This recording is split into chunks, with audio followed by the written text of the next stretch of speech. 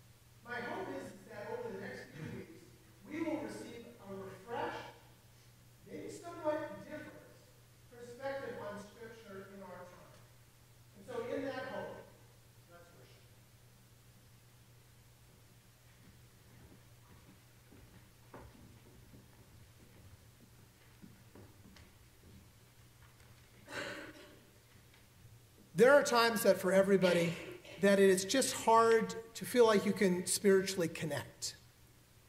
You get dry spells. And there can be a temptation when you're kind of in a spiritual dry spell to withdraw.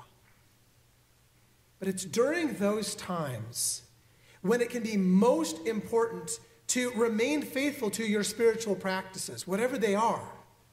So as we begin this time of worship, I invite you to reach out. I invite you, if you feel like it, to close your eyes and just take a deep cleansing breath.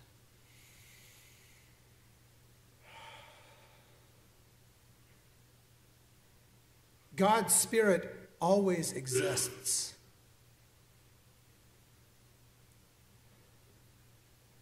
God's Spirit restores your mind, your body, and your spirit. May you experience God's presence in some way here this morning. Amen.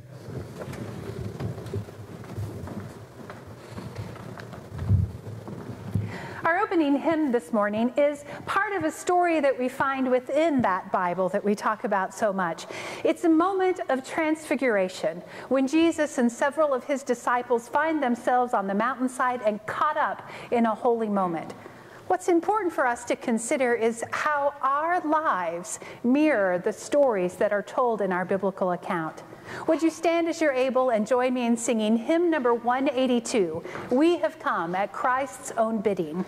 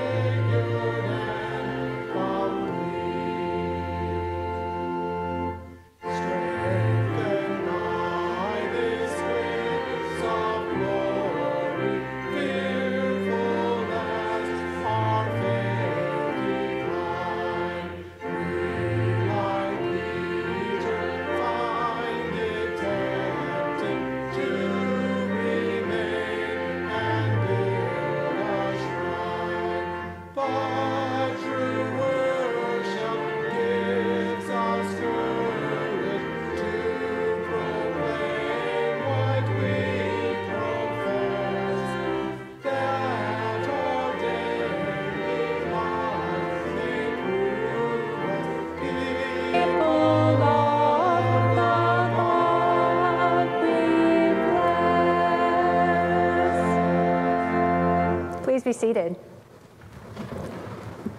In spite of our best efforts to live faithfully, we fall short of what God intends for us. Because God has already promised to be merciful, we dare to tell the truth about our lives. In humility and trust, let us confess our sin. God of grace, for our failure to love others as you have loved us, forgive us. For wasting your gifts and hoarding our goods, forgive us. For losing heart and abandoning hope, forgive us. For all the ways we turn from you, forgive us. Let us continue our prayers now in a moment of silent reflection.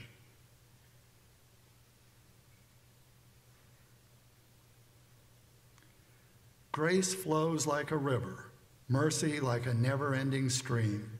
Believe the good news. In Jesus Christ, we are forgiven. Amen. Amen. Please rise as you are able.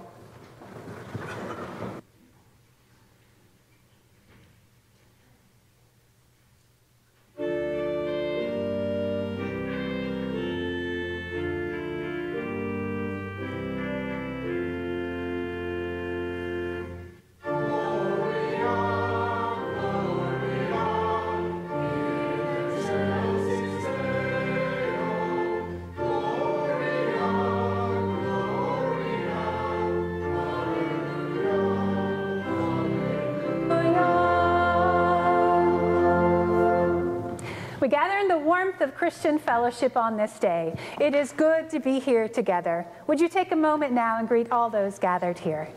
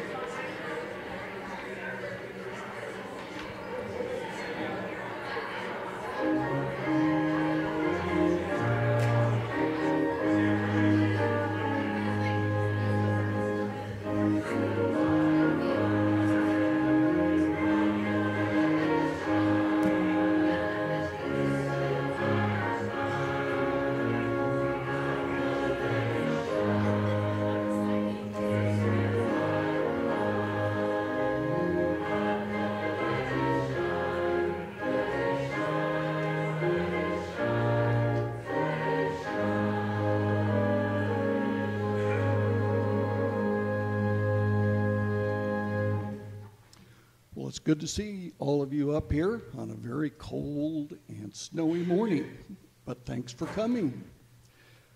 I want to tell you uh, something today that, that didn't start out very happy, but it's getting better. Uh, there's a very special person here at Colonial Church named Jan Parkinson. And last week he fell down and hurt his head really bad. So they had to take him to the hospital. And he's still there. But the good news is that he should be coming home this week. And in case you forgot what he looked like, there's Mr. Parkinson and his wife Jane. And you know all these little signs that hang up in the hallway? Jan made those. And the big mobile that hangs in the stairway, that's Jan's work too. You've seen him all around the church taking pictures. And maybe you remember last spring when we had the uh, ice cream and root beer floats. That was Jan Parkinson's idea several years ago. And he's done just about every job there is in the church. But more importantly, he's been a good friend to me and to everybody in the church too. Because Jan's always somebody we could talk to, somebody who always had a funny story. So I was thinking, what would cheer him up? And then I thought, it's Valentine's Day. So, well, Valentine's Day coming up this week. So I thought we would send him a card from the Children's Conversation group. Okay? And it says, It's not the size of this Valentine that makes it so awesome. We'll look inside. It says, It's the person who's holding it. Happy Valentine's Day and get well soon. And I'm hoping that you all will sign it with me because it's so big. Our signatures, the people that have, look a little small. So, I'm going to have the card up here, and what I'd like you to do is everyone come up. I have a couple markers, and sign your name. And after you do that, I've got some little cherry hearts here for you. Is this a bribe? No. okay. Now, it's always a risk with markers. Who wants to be first? Two people at the same time can sign. There's another marker. All right. Okay, thanks, Joey. Who's next? Oh boy, we're going to fill up this card, aren't we? And, okay. Get Out of the way. And that includes the adults here who sit in the children's conversation too.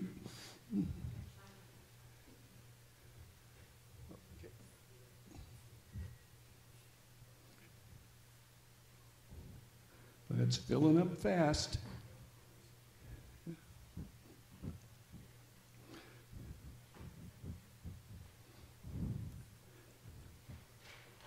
Okay, and we, there you go. Who hasn't signed? And take your, did you get a heart too? Okay. Anybody else? Do- do you- Okay.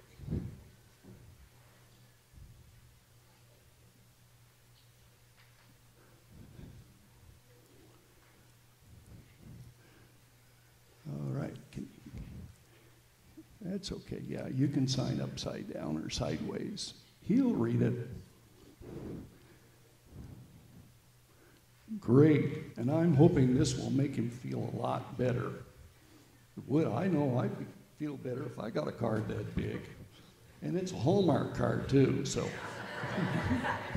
I was thinking I might make him one, but I said, no, he won't. So, okay, well, let's bow our heads and uh, say a little prayer here, and then we can go off to Sunday school. Um, I'll, I'll go ahead and say the prayer. Uh, Dear Lord, help our friend Jan to get well and come home soon from the hospital. Um, help all our friends to feel good and um, have a fun Valentine's Day this week. We'll, we'll see you later. Amen. Yes. Amen. Let it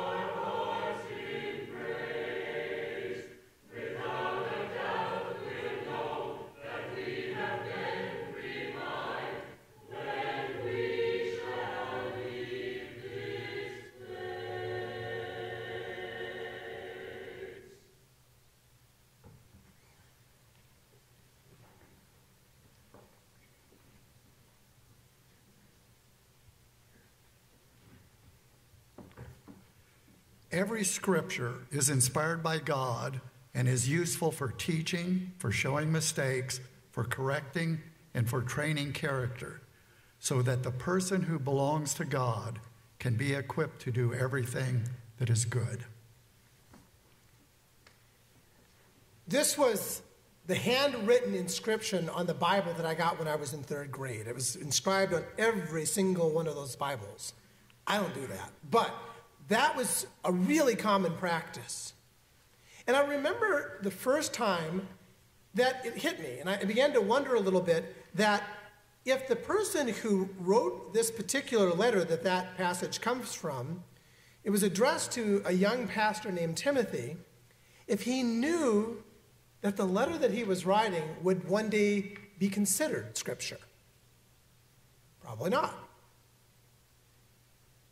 Last week, I got together with a few of our high schoolers, and what we're doing is about once a month we get together down at McDonald's um, late, it's, well, 8 o'clock, and we have snacks, and we've been talking about various things. And one of the subjects that we've been talking about lately is spiritual practices. And uh, one month we did meditation, and we practiced like each day trying to meditate a little bit and then kind of sharing what that's like. And this last week, we talked about the practice of reading Scripture. And so much has changed in the last 15 years. 15 years ago, I used to do this thing when I go to like, you know, youth gatherings, regional youth events. There was a class that I was asked to teach called um, Biblical Self-Defense. And I did that at colleges too. And it, it was because there were people who were kind of wielding the Bible like it was a weapon. And they were using it to, to there were clobber verses that they would pull out of, the, out of the scriptures to prove people that they were wrong and that they needed to agree with whatever dogmatic interpretation of scripture they had. And this class, it packed them in for a while, but things changed.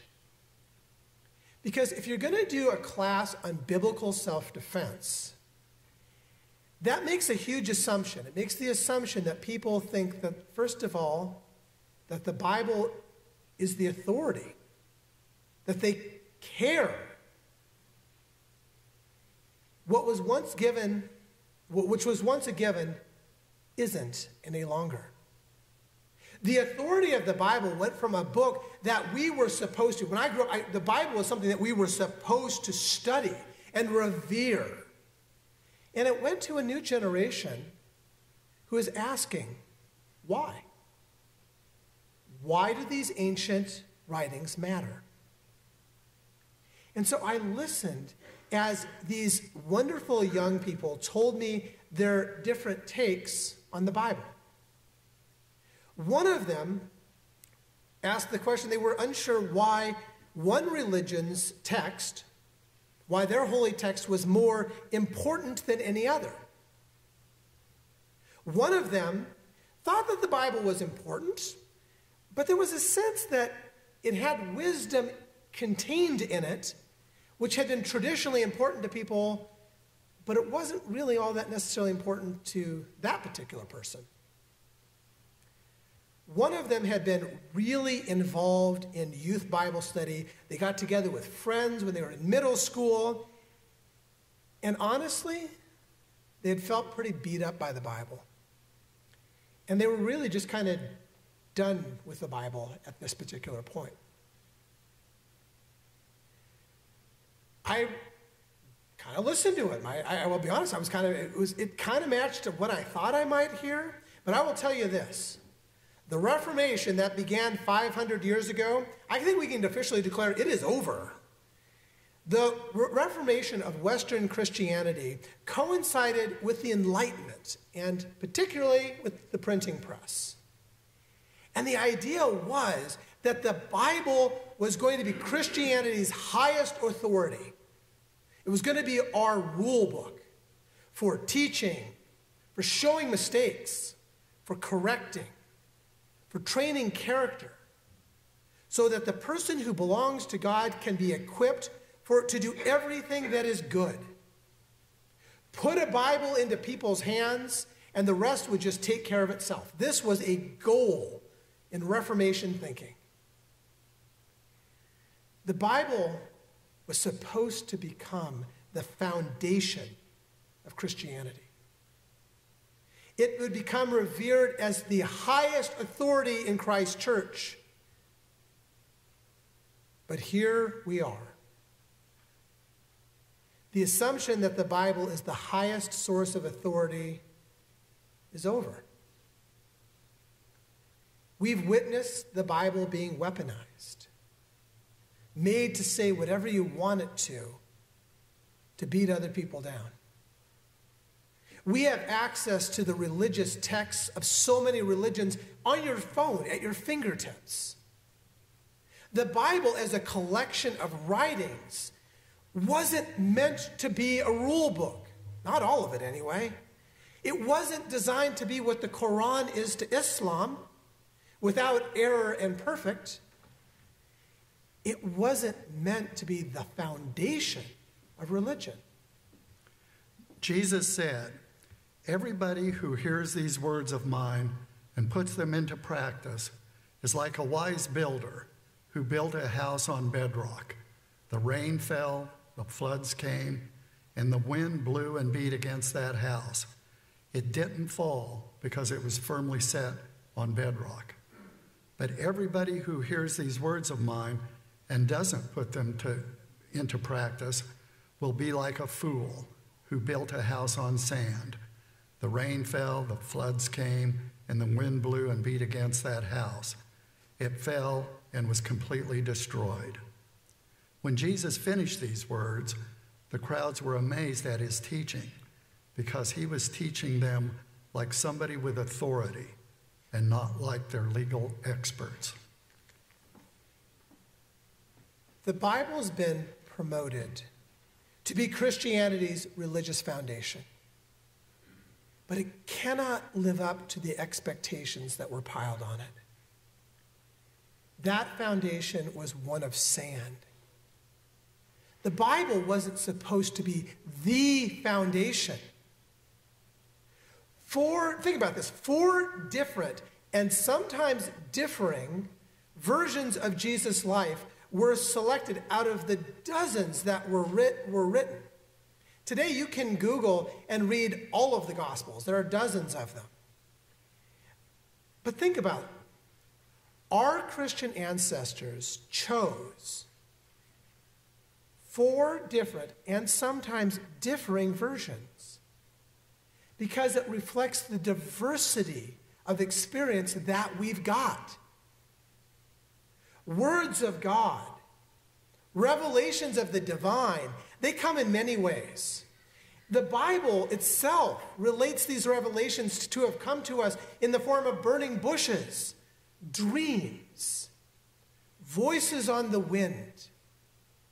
And for Christians, certainly the life, the teachings, and the living spirit of Jesus of Nazareth. Our foundation isn't a book, it's God. And whatever God choose, way God chooses to connect to us.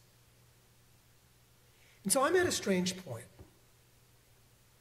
I have this sense of reverence for the Bible. I have friends who tease me because I will not write in my study Bible. I just, it feels wrong to write in a Bible, so I just don't do it. And it's not like I think that somebody's committing some sort of sin when they write in their Bibles. It's just a sense of reverence that I have for that book. Now, I read the Bible constantly. Now, mostly I do it on an app, but I have felt God's Spirit deeply touch me at times. And yet, I know.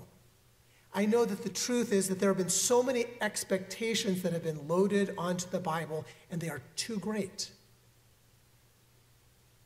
I hear the voices of our children who are facing so much at this particular time in their lives and in our world.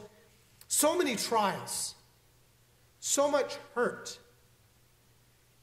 And it's not enough just to hand them a book. The true value of living in Christ's way, this true value of what it means to be Christian, and ultimately the true value of the Bible itself is the power to transform lives, to help us grow beyond ourselves, to proclaim hope to anyone who is living as a slave to fear or to addiction or to any number of petty tyrants. The gospel, the good news, is only good if it leads to changed lives. Otherwise, it's just words.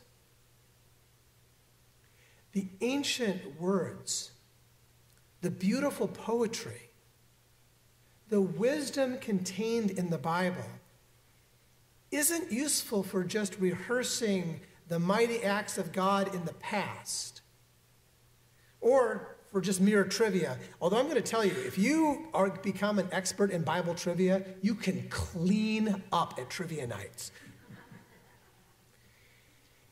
It's about figuring out the wisdom, the values for living the days that you've got.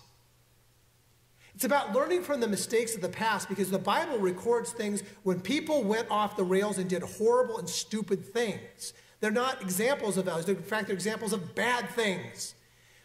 But we can learn from those so that we are not condemned to make the same mistakes in every generation. And so, I'm going to be honest, over the next few weeks, I have a goal in mind. We're right now, we are a few weeks out from the series of Lent, or the season of Lent. And I'd like to encourage you during Lent to engage with the Bible for during those few weeks. To try to read the Bible every day, but do it in a way that pushes the boundaries of your spiritual imagination. Where you read what's in those pages, but then you ask the questions. You challenge the assumptions.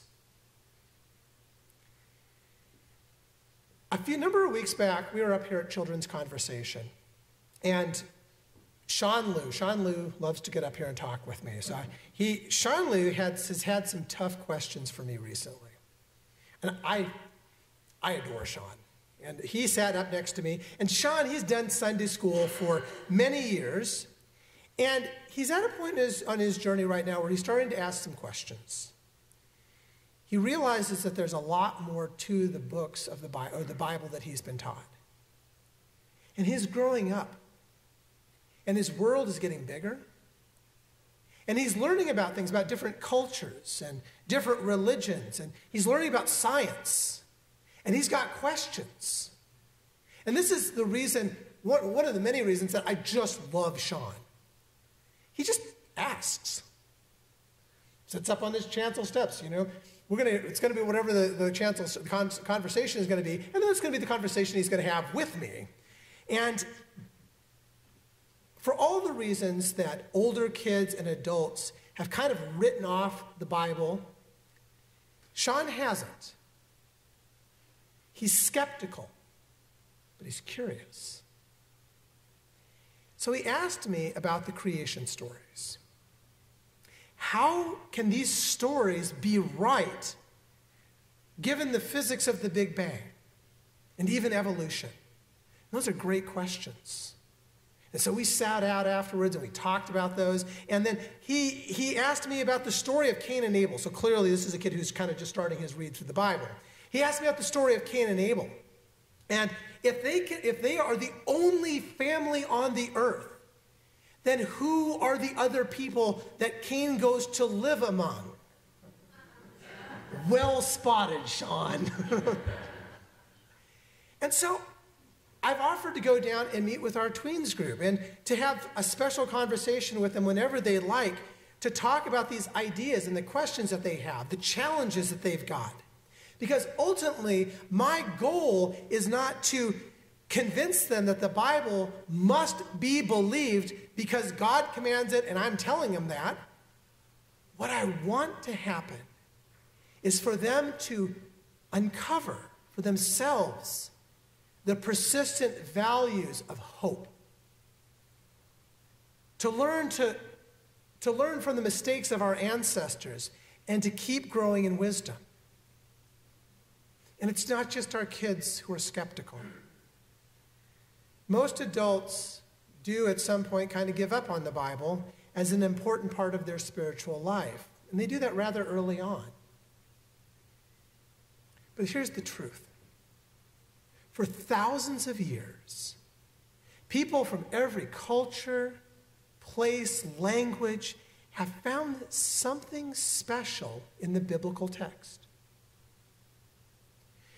Yes, far too many expectations have been piled on to the Bible, but that doesn't change the truth that so many people's lives have been transformed by it too. How many people who faced oppression, how many people who were once immigrants or slaves found hope in the words of these texts? There is something in there for you. And so, with it being Lent in a few weeks, I'm going to invite you to be part of our spring cleaning, our dusting off. I know it's not spring yet, it's, it's coming. But it's to be part of a short Bible devotional that we do as a congregation each day. And so, what I'd love to have you do is if, you, you're interested in taking part, I've put the word devotional by your name in the pew pad today. Because more than just read a few lines of text, you can do that. We've got it set up so each day you'd receive an email with a reading and a very short reflection, but also a way on social media for you to share any insights that you have, any experiences that you have, or questions or concerns that, you're, that you have, but to share that through social media. Because that is exactly how the Bible can transform lives. When we take it seriously. When we go deeper, not because we have to, but because we choose to, there is power in our shared story. Maybe not with the elevated expectations that got piled onto it over the last 500 years, but with the potential demonstrated over the centuries to transform lives. And this is the experiment that I invite you to. So do make a note in that pew pad today or in the days to come to take your part in dusting off the Bible for Lent. May that story continue to have power to touch your spirit. Amen. When I was a kid, we had a hymn sing at church once, and I remember selecting our hymn now. This was my favorite when I was a kid. I love to tell the story. Let's sing it together now. Please rise.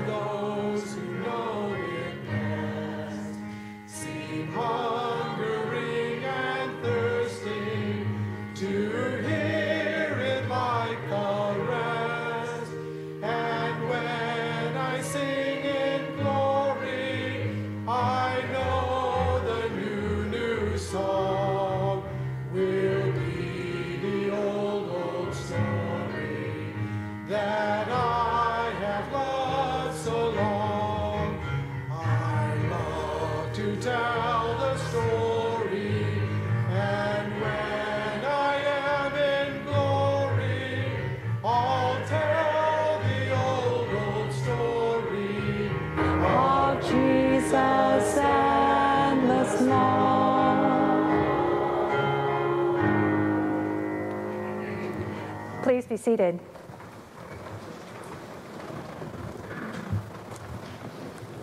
We have a story to tell as the congregation of Colonial Church, a story about standing on the side of justice, a story about being a people on a journey towards a more fulfilling faith. The story that we tell is part of how we practice generosity, not only in our congregation, but in our community and in our world.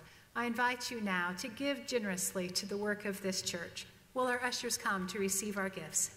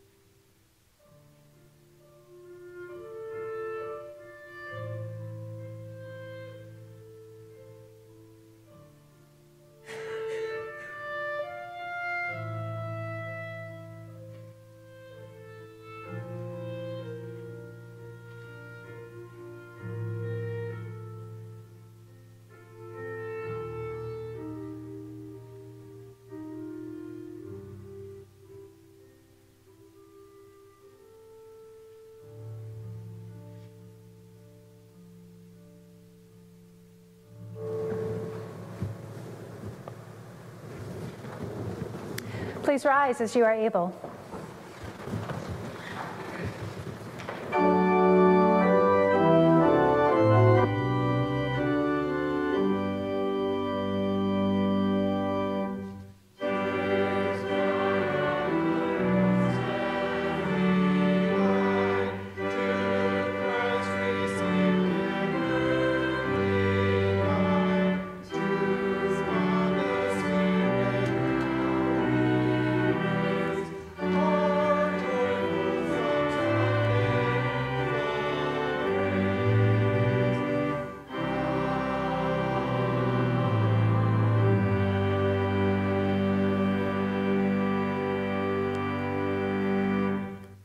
Please join me as we pray a blessing for the offering. O oh God, bless these gifts that we may have given as expressions of our love for you and our neighbors. May they guide us to your reign of peace and love. Amen. Please be seated. All right, we're just going to have to deal with that, that, that static. I don't know what that's all about, but there you go. I stand really still, it seems to like that. So, one of the ways we talk about how lives are transformed, and that the core of Christianity, the core of, our, of, of the foundation is transformed lives. And static. There was a person I was speaking to this last week, somebody that we've been praying for, was talking about the transformative power of knowing that, you've be, that you're being prayed for and what that means to, means to a person when you feel yourself being held in the spiritual act of prayer. Each week, the people in this community, we take the prayers that from our community, we offer them up to God together.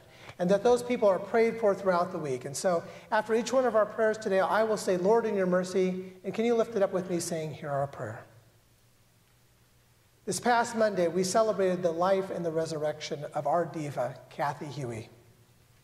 The choir had over 70 people, and I've never heard a sound like that in this, in this room before. It was incredible.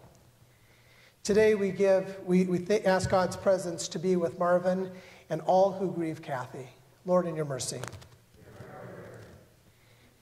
And as, as Bob was saying, too, last Sunday, right after worship, Jan Parkinson was going to his grandson's basketball game, and he suffered a head injury. He fell and got a big gash on his head, and he is healing well. Now, he got a secondary infection after that, and they've been treating that infection with antibiotics this week. And most importantly, his physicians are trying to work to find out how to regulate his blood pressure from dropping, which was the cause of the fall in the first place. And so they're, they're working on all of these things.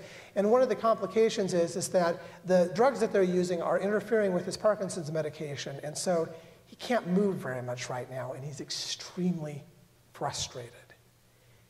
So is he's going he's to have a few weeks of rehab coming up. And so we need to surround him with the prayers because he is frustrated right now. He is healing, but he's frustrated, and for him to feel God's love in our prayers today. Lord, in your mercy.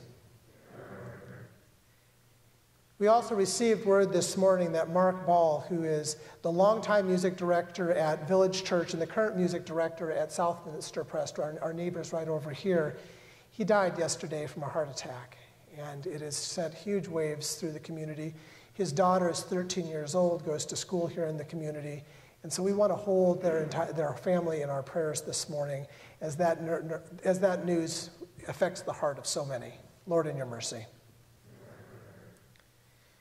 Lisa Ray Turnbull went down after the news that her, fa- her father, Dave, had um, contracted pneumonia. And her dad is 92 years old and generally pretty healthy, but the news of this pneumonia was pretty dire, so she flew down she reported back the good news is that he is healing and actually went home on Friday. And so she is on her way home shortly too. But we want to thank God for the healing that her dad has received and pray that it continues. Lord, in your mercy. Diane Starkey asks for prayers for her master gardener friend Anne, who's going to be having surgery this next week at KU Med Center for colon, for colon cancer. And so we pray that God's healing light be with her and her medical team as they work. Lord, in your mercy. And Sarah Hedren is not here with us. She is out of the, out of the ice. She's doing something interesting this weekend, and she asks for prayers from, from her church family for this. Recently, she has received treatment for, she has suffered from debilitating migraines for decades. And recently, she has received treatment that, she, the way that she describes it, has just breathed new life back into her. And so she, along with dozens of others, are off to Washington, D.C. right now to speak with legislators about funding and support for those who suffer as she has. And as she travels over these next few days, we ask for God's Spirit to bless her as she extends the influence of healing that she has received. Lord, in your mercy. Where is God connecting with you? Or has the presence of God, God felt somewhat distant from you lately? Take a moment now to reach out in silent prayer. Let's pray together.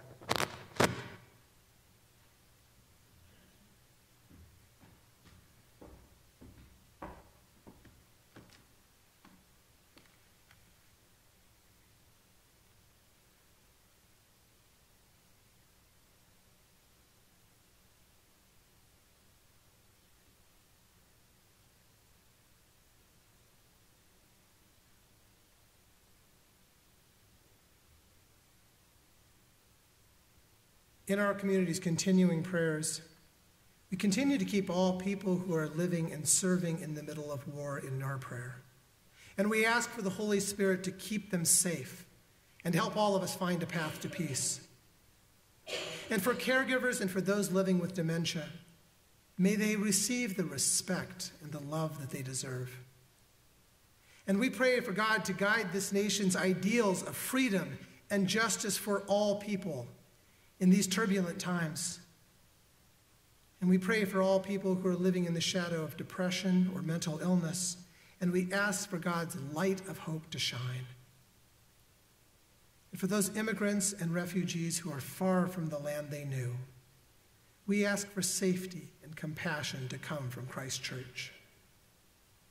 And for those loved ones in our lives who are with cancer and other ongoing life threatening conditions, we pray for Kelly Giambri, Sean Bolter, Karen Fogelsong, Kathy Helwedge, Caleb Ball, Andrew Wood, Nathan Green, Clive Griffiths, William Scare, Cindy Russell, and Lee Fromont. And today also we add Bob Kimbrough, a friend of Jerry and Joan Gilson, who is a young father of five as he has a new diagnosis of cancer. We pray for God's strength to flow from our prayers to them. Sometimes it's enough just to simply get through the day, to have the daily bread that you need. Let's pray for what is sufficient for this day right now, as we pray as Jesus taught. Our Father, who art in heaven, hallowed be thy name. Thy kingdom come, thy will be done on earth as it is in heaven. Give us this day our daily bread, and forgive us our debts, as we forgive our debtors. And lead us not into temptation, but deliver us from evil. For thine is the kingdom, and the power, and the glory forever. Amen. Our closing hymn this morning is number 407 in our hymnal, How Firm a Foundation. Will you stand as you're able and join in song? Bye.